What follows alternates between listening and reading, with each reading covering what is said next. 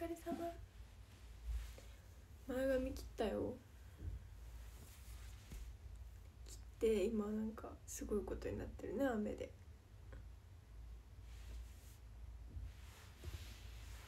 弥生。弥生だよ。こっち痛い。嘘だよ。嘘だよ。どういうこと？エイプリルフールのやつか。こんばんは。こんばんは。嘘だよ。えらい。嘘だよ。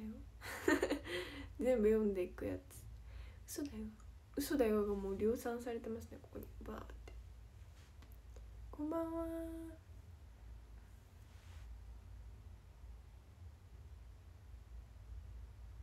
嘘だよ。嘘だよ。嘘だよ。いっぱい来た嘘だよ。ありがとうございます皆さん。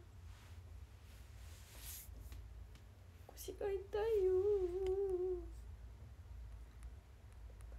こんばんは嘘だよがいっぱい来てるの。嘘なの？来たけど。嘘だよがいっぱいね。来てるから。嘘だよ嘘だよ嘘だよ。嘘だよ。可愛いって言った後に嘘だよって投げる投げてさ遠回しに伝えようとしてきてるってこと？嘘って。今日も可愛いの。後に嘘だよ投げるんでしょ？やる気になってるからオンラインもリアルイベも撮ります。嬉しい。やったー！嬉しいねこんばんは。舞台見に行きます。マジ？やった今日もお稽古してきたよ。今んとこ毎日ですね。写メ会待ってるね。私ようね。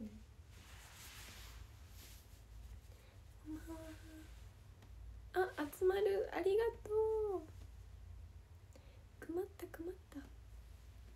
片手た機械ってどんなの？えこれはねやうもなんかちゃんとは分かってないんですけど前回は写メ会の後になんかお見送りで肩を叩くっていう感じでした。だから写真撮った後に「じゃあまた来てね。バイバイ」みたいな感じです。だから本当に肩叩きをおまけみたいな感じ。明日本当だね。テロテロップ。明日4月。4日12時から。握手会写メ会。オンラインあれなんて書こうイベント受付開始にしよう明日4月4日12時からイベント受付開始。これにしよう。握手と写メとオンラインお話し会があります。オンラインお話し会と、えっと、関西の握手と写メ会は3部制スタートです。初めての。ありがとうございます皆さん。ありがとう。だから会いに来てね。関東だけ二部制なのはにゃなんやけど。それな関東だけねダメだったんです。ガーン。だから関東皆さんいっぱい来てください。そしたらもしかしたら3部になるかもしれないから。会いに行くよ。待ってるね。なんかさ服装をね考えて今回はオンラインはもうほぼ全部変えてます。一部二部三部あるんですけど全部違う弥生が見れちゃいます。お得やろ？お得やよ。そうだからあ関東はみんな一部ずつ少ないんだ。なるほどそういうことか。えー、なんでそうだね。関東で今顔を広めてる最中です。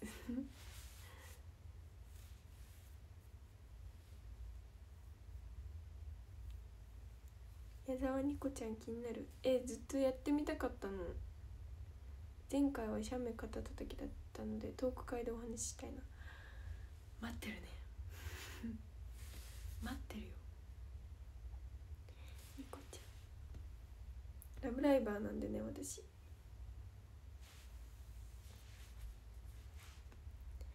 で服装なんですけど。あ吉村哲也さんありがとうくま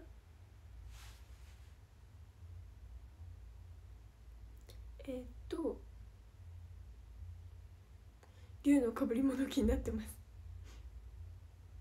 ニコニコに一緒にいよう。待ってるね。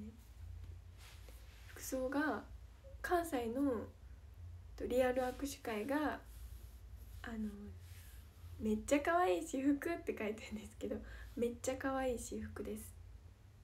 めっちゃ可愛い私服です。関東が浴衣。関東が浴衣を着ます。え着れるかな?書いといてさ着れなかったらどうしよう。関東3部にしたいから嬉しい。関東が浴衣を着ちゃいます。これねいいね。オンラインはメガネ？初日のメガネの日がおすすめ。メガネにスーツなんてもう一生着ないかもしれないよ。恥ずかしいわ恥ずかしいからさ。だから。まあ初なんですけど。待ってますね。しずまるありがとう。よしみん着せれるの？えー、じゃあよしみんに頼もう。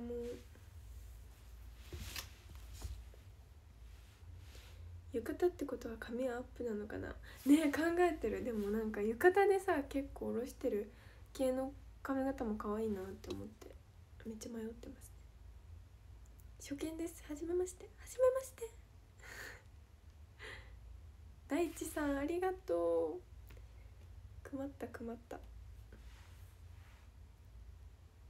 これ元ネタ誰のなの？くまったくまった。でこれがリアルイベントの服装なんですけどあでオンラインがそうスーツね。スーツです。まず1個目。メガネスーツ。これはほんま恥ずかしいから。カレンさん？カレンさんか。そうなんだ。カレンさんか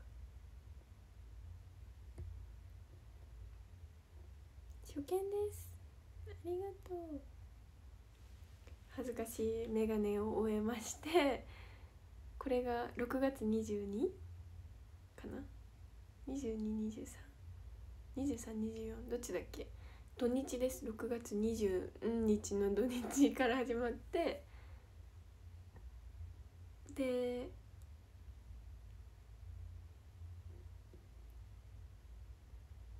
みちゃぴをプロデュースするのもあるのかな？なんと。あります。美咲もフリフリにするからよろしくね。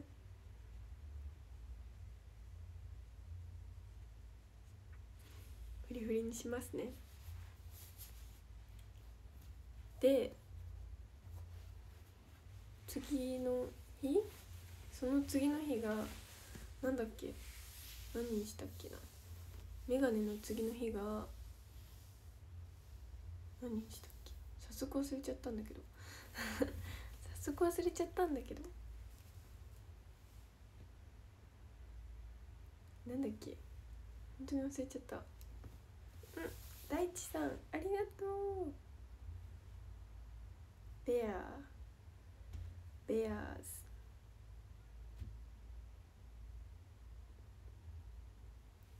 4月はちょっとだけ仲良くしてください。ちょっと？今日誕生日。おめでとう。本当に？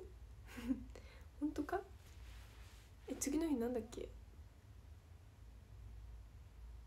次なんだっけ？あれ？メガネにさ気を取られすぎてさ。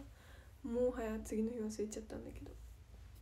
オンラインお話し会は22 6月22日23日7月6日7月7日8月31日9月1日。でメガネの日ああそうか次の日が美咲の日だ。美咲にギャルにしてもらう日ね。メガネの日の次の日が美咲にギャルにしてもらう日です。で次7月6日が舞台恋が「恋と呼ぶには気持ち悪い」のリオちゃん役をやらせていただくんですけどそれのコスプレ。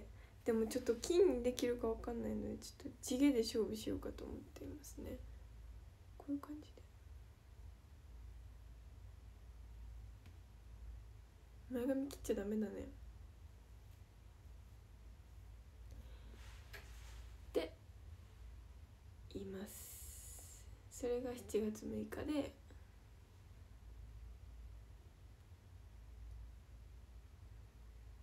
で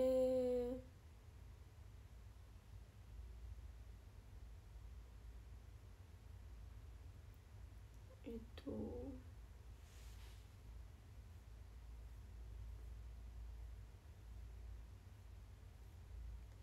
金髪はねちょっとできないから。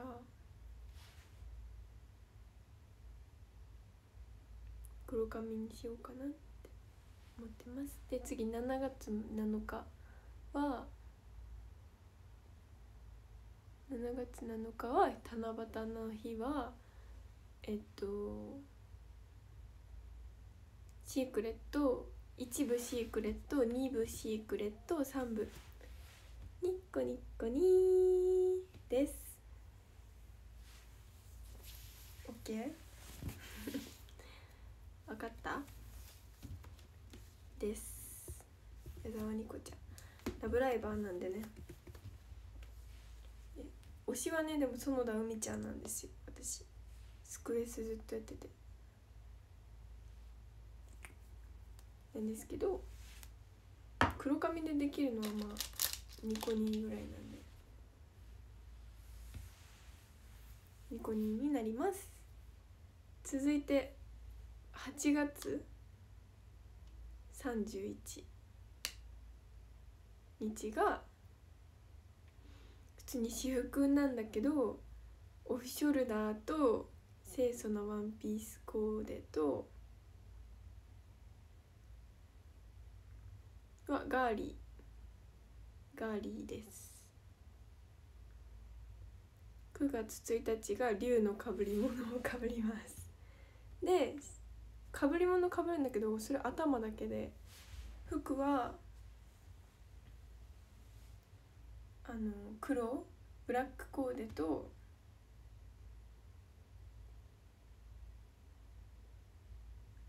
ホワイトコーデと水色コーデをします。ガーリーがさ伝わってないってことはあんまりなんかガーリー？はてな？みたいなのがいっぱい来てる。ガーリーっていうのは女の子っぽいっていうことです。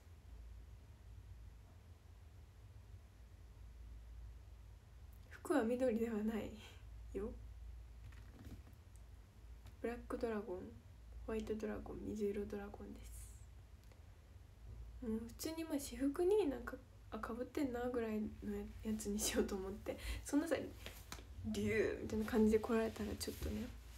竜のかぶり物はなぜ？辰年だからだよ。辰年で辰元だからだよ。そりゃそうだよ。水色珍しい？水色めっちゃ好きなんだけど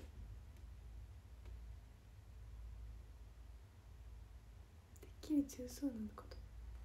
強そうなのちょっとやばくない？なんかさ強そうなのちょっとさオンライン越しってなるかなって思って。弱そうな竜にしました。しましたってまだ買ってもないけどね竜を。です。お願いします。そうピンク好きやけどえ水色も好き。応援かわいい水色だ。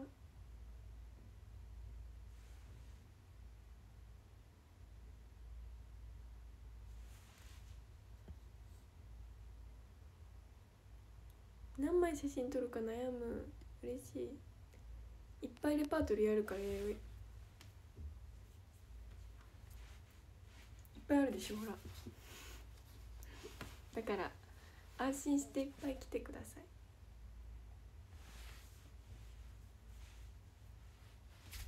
写メ会でおすすめのポーズありますか？アイスクリーム。これ生誕の時の写真？集合写真の後ろでさ先輩とかもみんなやってくれてるんだよこれ。実は。アイスクリーム。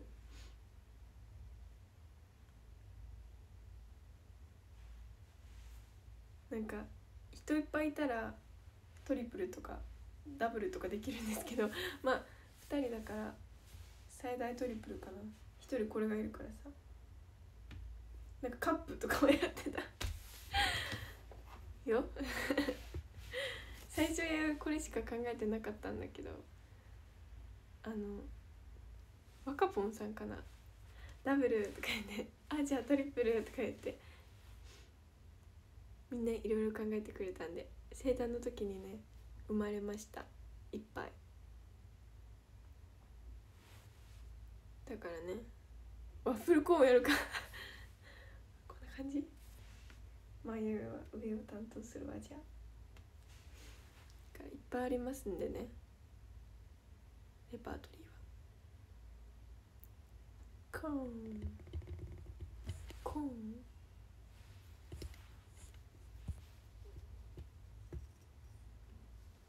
こんばんはやよ。こんばんはやよ。部数増やそうな。本当に。まずはリアルイベントかな。まずは関西のリアルを。バンした。お完売御礼。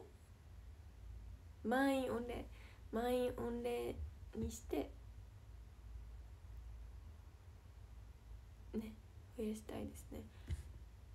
6月8日かな。6月8日からまずは皆さん待ってます。でも関東の浴衣も見てほしいしオンラインのメガネも絶対おすすめだから。あのお願いしますぜひ。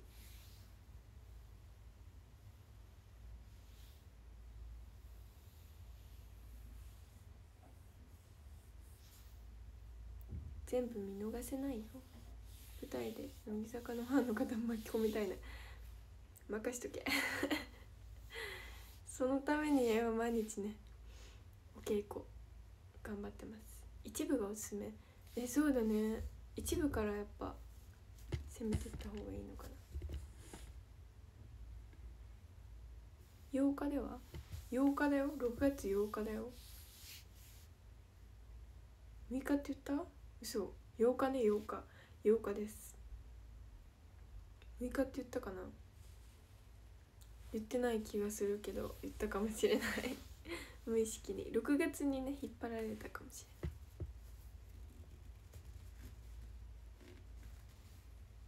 こんばんは。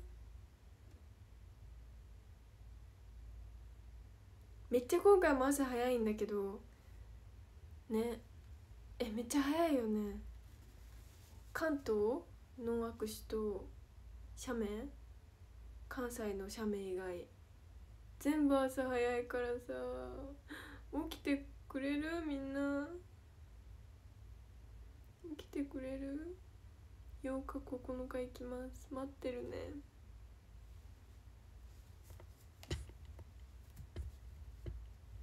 早起き頑張ります。ありがとう。起きるでしょ。起きるでしょ。本当に。ありがとう。みんな生活習慣さ正されるくない？このオンラインの時って。弥生もね正される。今回でも1ヶ月にギュッてなってないからさ。えそう前回も早くて。うん。遅い部が良かったけど。まあしょうがない。これ皆さん予定をね入れれるんでね。朝だからさ。朝オンラインしてからまあどっか行ったりできるし。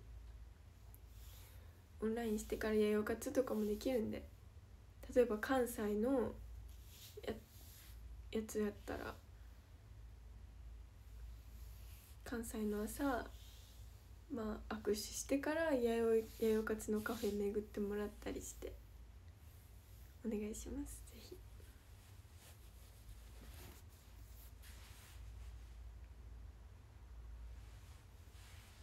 て感じかな。よ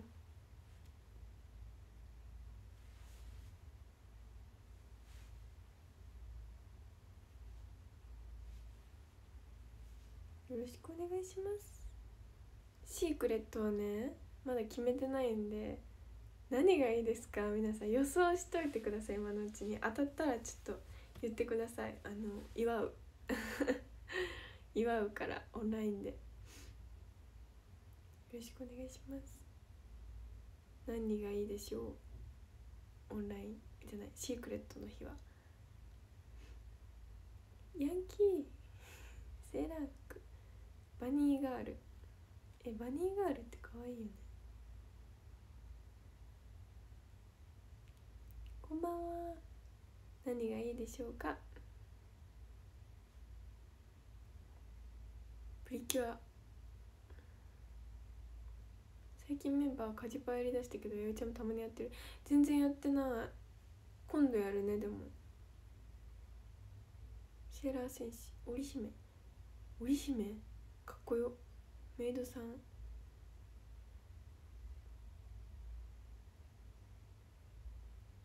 なんだろうね。ギャル？ギャルはでもほら美咲にギャルにさされるからさ。とか言ったらシークレットじゃないよね。ギャルかもしれないし。お星様？かわいいなお星様。えでも全然考えてないから答えとかはないんですけど。宇宙人。ラブライブ。戦国の誰か。やばないシークレット。絶対シークレットで変なことやる人やって思われてるよな。皆さん楽しみにしててくださいね。でもシークレットっていうからまああれだよね。私服ではないよね。これはまあね。シークレットは私服でしたとか言ったらちょっと張り倒されるかもしれないからちゃんとね用意してます。用意し何個か案は用意してます。けどもまだ決まってはいない。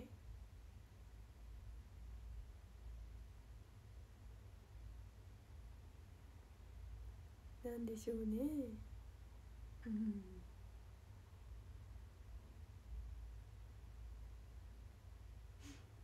楽しみにしててください。明日の12時。えー、明日の12時だよ。やばくない？早いんだけど。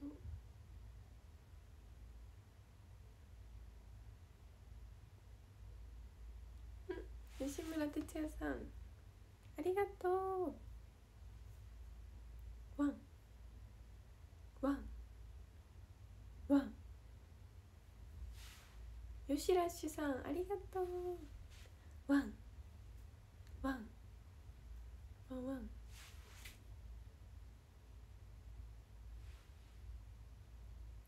目がかゆい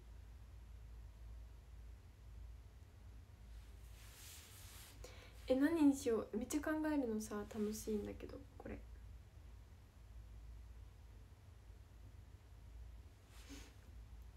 ワンにした。今日からワンにする。今日からくまちゃんが飛んできたらワンっていうことにしました。えそう花粉症なの花粉症だからさ。ちょっと前髪が邪魔になってきたからちょっと流しますね。こんばんは。こんばんは。そろそろねお稽古の話をしようかな。まあ順調ではないんですけど 順調ではないんですけどとかって心配されちゃうか。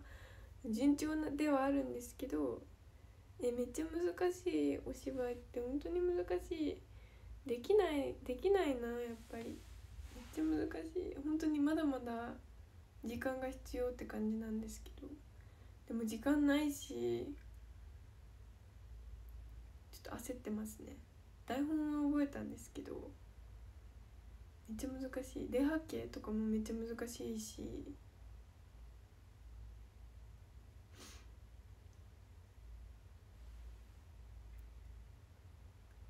できるかな？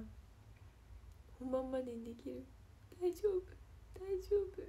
ありがとう。うんまだあるけどさ。本当に大丈夫かなって思っちゃうたまに。どうしようって思っちゃうけど。ね。え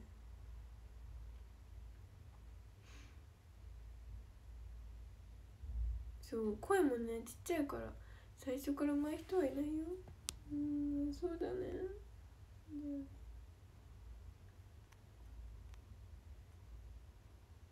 うん。気合い入れて頑張るしかない。弥生にしかできないことや。頑張るよ。弥生ちゃんならできるよ。ありがとう。あいぴょんの手紙でも書いてあったでしょ。めっちゃ励ましてくれるみんなありがとう。表情豊か。本当？頑張る。なんかこう空気で出さないといけない時とかあるじゃん。みたいな。時がほんまに下手くそでねちょっと日々泣きそうになりながらも頑張っているんですよ。ね。ほんまに大丈夫かなって思うけど。まあ頑張るしかないよね。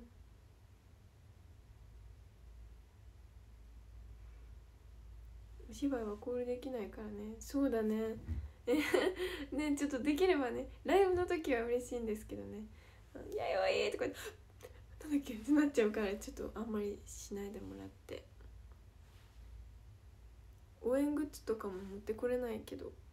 存在が応援だから存在だけで来てくれたら嬉しいなって思います。身身だけで来てください。もう。身身だけで来てください。ペンライトも何もいらないのでもう身身だけでぜひお越しください。ヒューリックホールとね TT ホールで。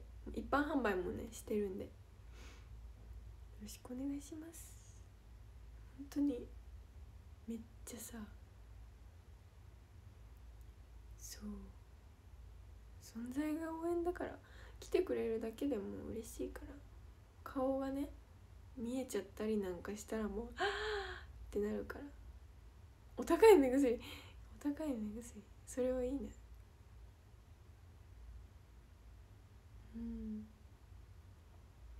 存在がペンライト。存在がペンライト。本当の初めましてなんですけど気になりました。本当に？じゃいっぱい告知するよ今から。行くよ。耳をかっぴらいてね。明日から始まるよ。イベント。握手会のとなん写メ会とオンラインの受付が。そして今舞台のボキって言ったね足が。舞台のチケットが販売中だよ。4月26日から東京で。5月10日から大阪でやるよ。かっぴらくって初めて聞いた。本当に？かっぴらいてって言わない？めっちゃねもう告知しまくって。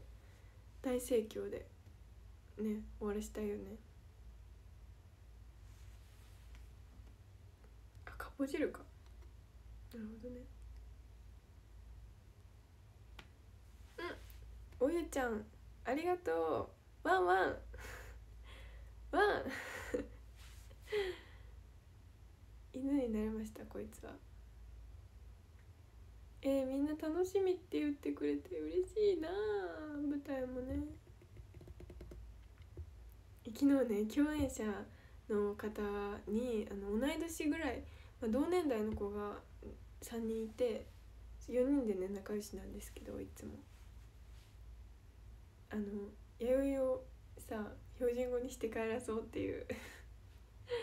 ああれ何?」とか言って「あれはマクドだよ。あれはマクドだよ」とか言って「違うよ。マックだよあれは」とか言われ ますめっちゃ。でも大丈夫だよ。ちゃんとマクドで買えるから。ファミマで買えるから。ユニバで買えるから。ララポで買えるから。わかる？あかんでほんまに。マックとか言わへんし。ファミマってなんだっけ？ファミマ？ファミマ？ファミマだっけ？なんかファミマみたいな言うんじゃん。セブン入れっていうの？セブンじゃなくて？関西弁じゃないやん。関西弁じゃないって言うやんみんな。みんな弥生のことなんか標準語とか関西弁じゃないみたいな。言うけど関西めっちゃ関西弁って言われるほんまに。ほんまに。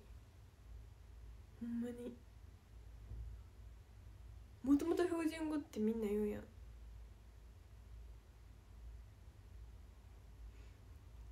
うほんまに関西弁って言われるから。やっぱりそう鉛っていうんかな。なんとかやんとかじゃなくてなんとかやでとかだけじゃないやん関西弁って。鉛方ってあるやんか。そういうのがめっちゃやっぱ関西弁ですね。こっち来てまあもともと標準語やしなって思ってたけど全然標準語じゃない。ほんまに。本場は違うわって思って 本場ってなんやねんって感じやけど。えそう単語とかでねめっちゃ。ファミマ。ファミマって言ったらちゃうって言われるし。ファミマか。ファミマって言うねんな。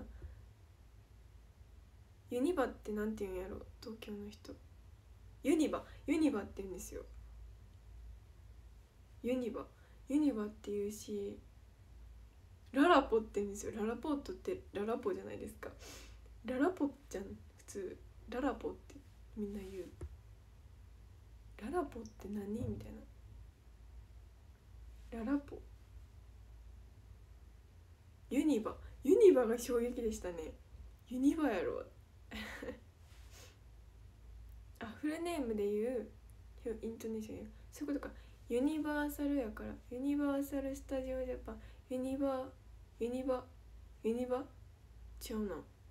ユニバ。ユニバ。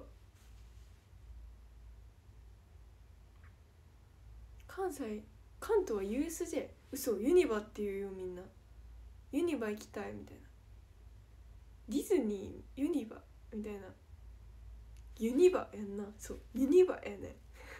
ファミマやし。ララポやし。なんやあとマクドやし。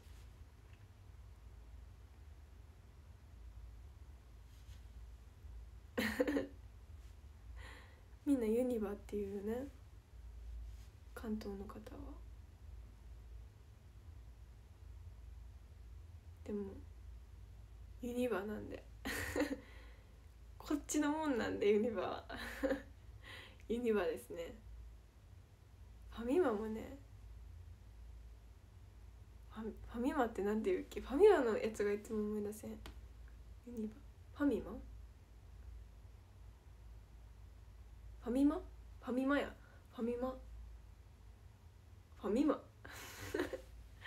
面白くない？これ。ねちょっと違うだけ。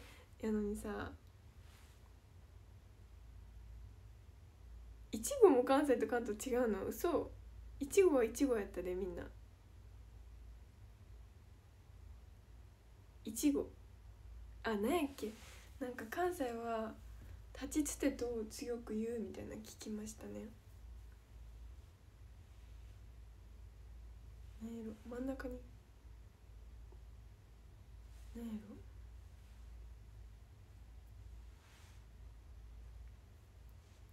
やおいちゃんの語尾に「ジャン」が増えてる「ジャン」はもともとです。これは。ほんまにごめん。あでもなんで弥生が関西弁あんまり関西弁比較的関西弁じゃないかっていうのが発覚したんですよこの前。話してもいいですか？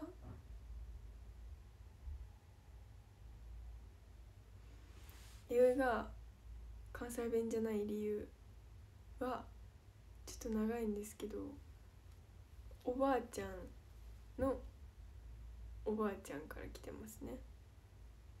おばあちゃんの母から来てますね。だからひいおばあちゃんですね私の、まあ、会ったことないんですけどなんか私のひいおばあちゃん名古屋出身なんですよ。名古屋出身なんですけど名古屋弁なんですね名古屋って。名古屋弁もちょっと独特じゃないですか。なんていうんやろ。うん。何買ったん？って言うんですよ。標準語は何買ったの？関西弁やったら何買ったん？名古屋は何買ったん？っていう言うんですよ。めっちゃイントネーションがちゃうくて。方言って遺伝したっけ？遺伝じゃなくて。そうそうやねん。3つ3つあるね3つわかんねんけど。まあ配信になると関西弁じゃなくなるメンバー多いねんけどいやほんまにいつも結構標準語よりのイントネーションで話すからメンバーにもなんでって言われてて。でひいおばあちゃんが名古屋なんですけど名古屋の小学校に通っててひいおばあちゃんの小学校時代の話まで戻るってどないって感じなんですけど。はい。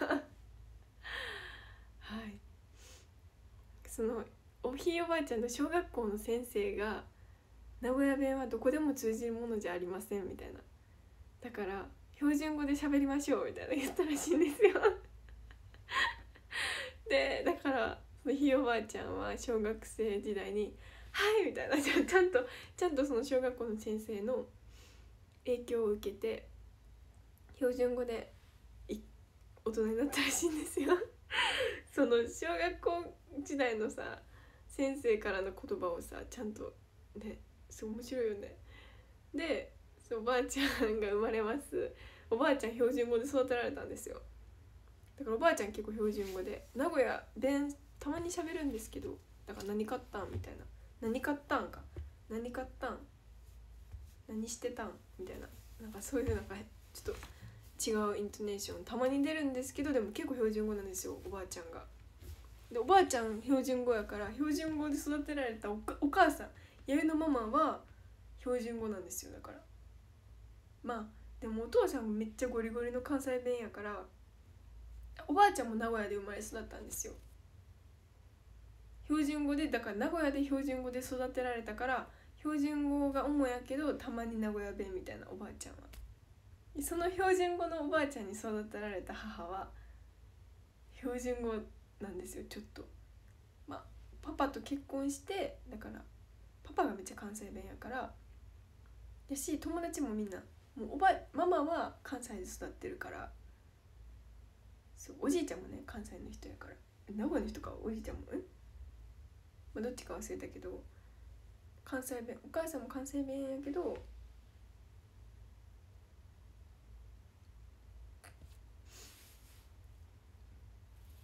そうだからママは標準語やねんけどパパは関西弁やからまあ関西弁ママもちょっとは関西弁やけど結構標準語寄りなんですよ。だからママが結構標準語？っていうんかな。結構標準語。あんまりバリバリの関西弁ではないって感じ。えから弥生もバリバリの関西弁ではないっていう感じ。標準語ではないで全然。関西めっちゃ関西弁やけど入れちゃった。めっちゃ関西弁友達とかとね普通にラフに話してる時とかほんまに関西弁やけどママが標準語なせいで標準語も話せるっていう感じ。です。分かった？これ伝わる？え何言ってるか分かるかな？そうだから。弥生ちゃんはきしめんとか手羽先とか味噌カツとかあんかけスパとか好き。えめっちゃ好き。だから名古屋よく行ってたんですよ。おばあちゃんのね出身やから。めっちゃ親戚いっぱいいて名古屋。きしめん美味しいお店も知ってるし。手羽先は風来坊か山ちゃんやし。年表にまとめてほしい。まあ確かに。そう。だからそうですね。おばあちゃん家から来てます。標準語は。なんで関西弁なん？それは生まれも育ちも関西やからですね。友達はさみんな関西弁やから。でも兵庫？兵庫弁？神戸弁？かも。中高が神戸やったんですけど周りがみんな神戸やったから。何時にどこどここうへんの？弥生はこうへんの？みたいな。こうへん？みたいな。言うよね。兵庫って。何し何しと確かにね。しとう？とか。こうへん？とか。しいひんとか言いますね。しいひん？神戸弁もありますし。でもこ NMB に入って大阪弁？みんな大阪弁やから。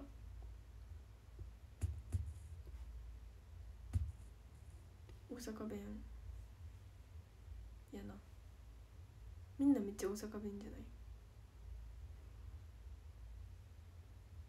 しーひんこうへん。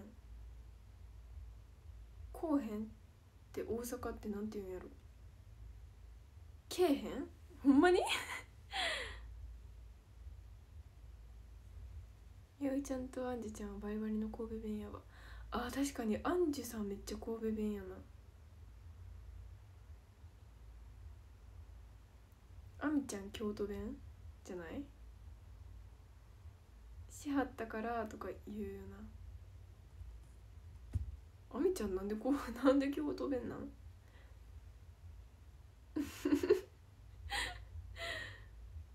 なんでやろ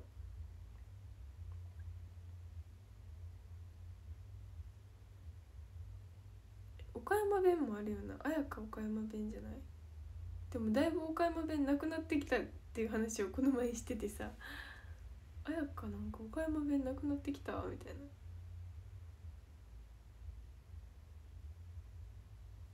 話をしてた。確かにみゆさんじゅんさんとかめっちゃ兵庫やな。そうあやぴょんなんやろ岡山弁ってなんなんやろな。なんとか県とか。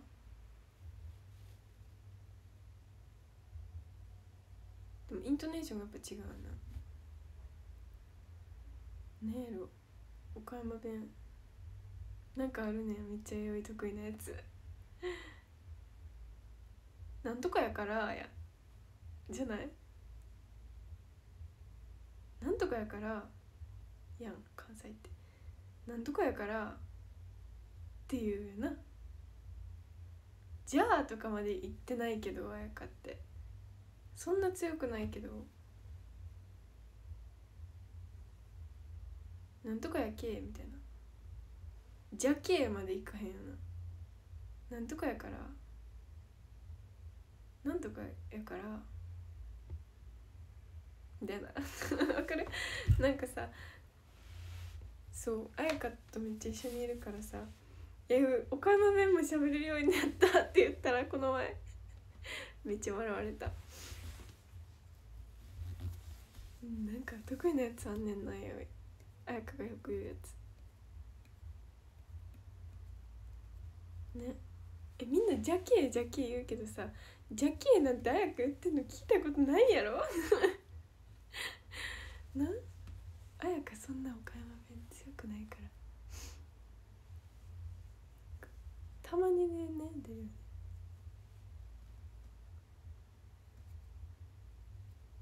んなんとった？みたいな。言っとった？みたいな。言うよな。うん言っとったからさみたいな。わかる？えこの感じわかる？あしとるとかも言うな。しとるってあんま言わへんよな大阪って。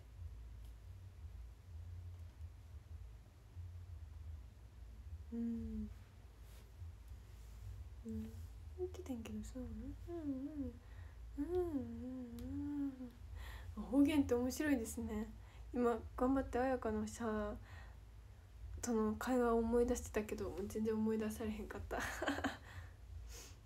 うん。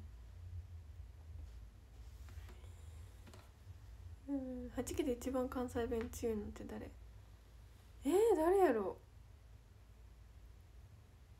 うでも光がめっちゃ見えですね。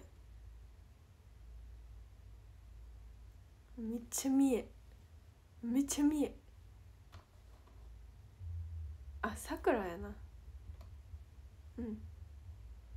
松作やな。もう満場一致で松作やな。松作です。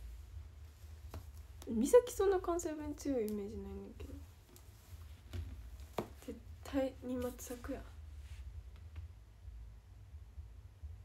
バリなんとかやねんけど。みたいな。もうほんまに関西弁やなって感じ。三重もな関西弁やけどちょっと違うね。ほんまに面白いよな。ほんまに面白くない？三重は三重ね光の喋り方ってあんねんな。思い出せへん。何やっけ？めっちゃあんねん。これめっちゃ得意やね。んやいあかんわ思い出せへん。あシアン。そうシアン。シアンっていうような光る。うん。あ愛知売りやなめっちゃ。見えて。なんここよりも見えやけど光がめっちゃ見え。喋り方。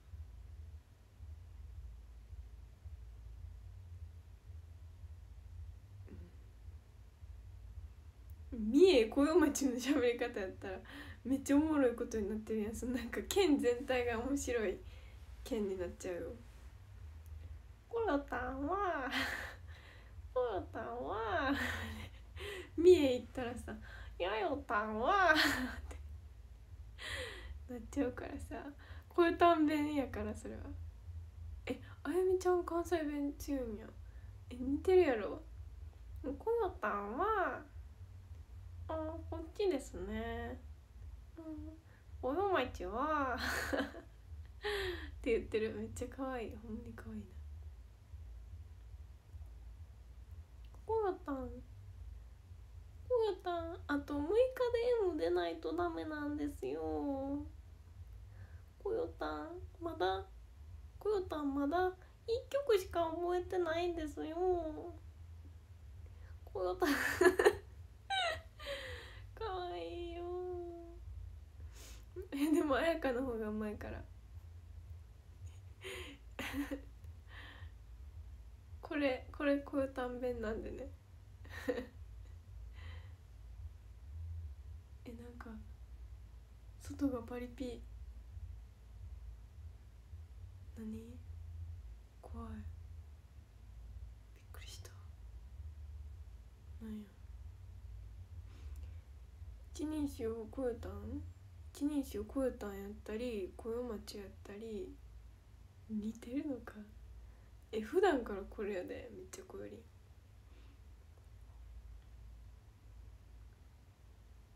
ん。え東京怖いねんけどえめっちゃ怖い。ビビビなんかパファンキーなんですけど。何？怖いよ。えー、一人になりたくないよ。怖い。怖いんだけど。マジやばい。ビートなんだけど本当に「ちっちゃちっちゃちっちゃちっちゃ」みたいな曲聞こえてくる。あもう壇上読めますね。もう1時間ぐらい経っちゃうし。いやば今日も練習しないといけないので。そろそろ。気をつけるね。いやいやもうこれでいこうかな「やおたんは。やおたんも今からランキングを見ますね」はい13位。みさきちゃん。11位。13位。くにさん。ごめんね。ごめんなさい。13位。くにさん。12位。みさきちゃん。11位。鉄メガネさん。10位。しろちゃん。9位。ムーチョさん。8位。竹丸さん。7位。三方町さん。6位。おゆちゃん。5位。吉村哲也さん。4位。吉ラッシュさん。3位。静まる。2位集まる1位は大地さんです。ありがとう、えー、9時からという配信だったんですけど。ありがとう。みんなおやすみなさい。明日の12時からイベントの受付開始なんで皆さん忘れないでください。そしてそう握手会オンラインお話会写メ会です語った時の配信配信じゃない。受付がお昼12時から始まります。そして舞台のチケット受付中。待ってるね。お疲れありがとう。楽しかった。こちらこそ。それじゃあおやすみなさい。おやすみ。